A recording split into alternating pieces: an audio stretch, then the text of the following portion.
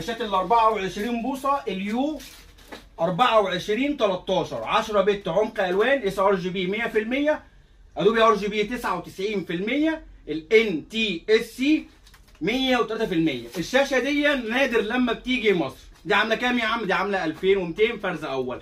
دي full HD 24 بوصة IPS بس 10 bit عمق ألوان sRGB 100 يعني معمولة من الآخر لل graphic وال design. معمولة 100% لل graphic وال design. اسمها UltraSharp U 24 13 تمام كده؟ دي جاي منها حوالي 8 شاشات إحنا كل يوم بقى يجي لنا دلوقتي 24 مش جاية حاجة 27 ال 75 هرتز جالنا تاني G 2 24 بوصة IPS frameless HP Z 24 n G 2 2500 الفرز الأول معاها كابل ال power.